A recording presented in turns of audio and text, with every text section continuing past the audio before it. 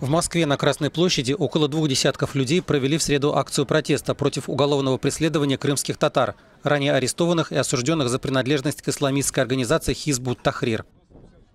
В России она включена в список террористических.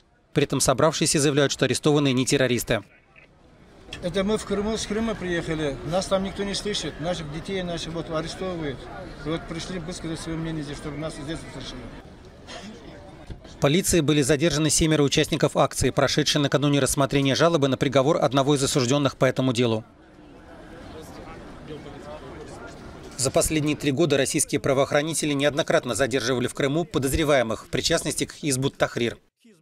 У некоторых из них при обыске находили литературу экстремистского толка. В конце прошлого года суд приговорил четырех участников одной из ячеек организации к тюремному заключению на срок от 9 до 17 лет, признав их виновными в подготовке государственного переворота.